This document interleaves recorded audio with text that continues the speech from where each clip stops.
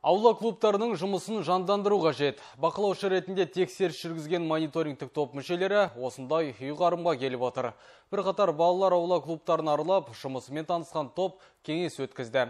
Кеңес барысында кемшіліктер айтылып, жауапты мекеме басшыларына ұсыныстар жеткізілді отбасы және халықты әлеуметтік қорғау мәселелері жөніндегі қоғамдық кеңес отырысы облыс орталығындағы балалар аула клубының жұмысына арналды. Отырыста мәдени ағарту бірлестігіне қарасты клубтардың жұмысы жан жақты талданды кемшін кеткен тұстарын комиссия мүшелері сынға алды сәйкесінше ұсыныстар да айтылды. Әсіресе аула клубтарының материалды техникалық базасын нығайту балалар қызығушылығын арттыратын үйірмелер санын көбейту туралы әңгіме болды. Ерекше қажеттіліктері бар балалармен жұмыс жасау сынды бірқатар ұсыныстар ұсынымдар жолданды.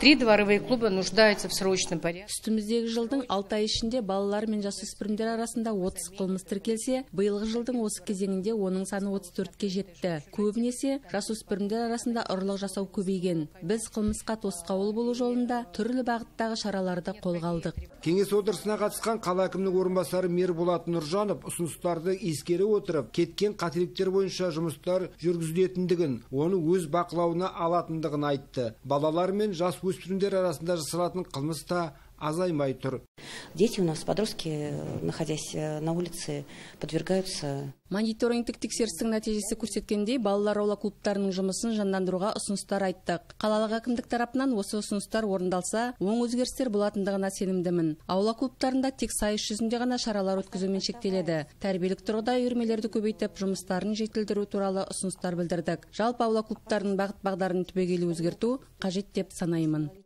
Орал қаласы бойынша 19 балалар аула клубы жұмыс істейді. Оларда 158 маман қызмет етеді. Осы айтылған 19 клубта 1940 бала түрлі үйірмелермен қамтылып отыр. Қоғамдық кеңес мүшелерінің айтуынша бұл аздық ететін көрінеді. Сол себептен аула клубтарының материалдық техникалық жағдайын жақсартып, үйірмеге балалар мен жас өспірімдерді көптеп тарту туралы ұсыныс жасалды.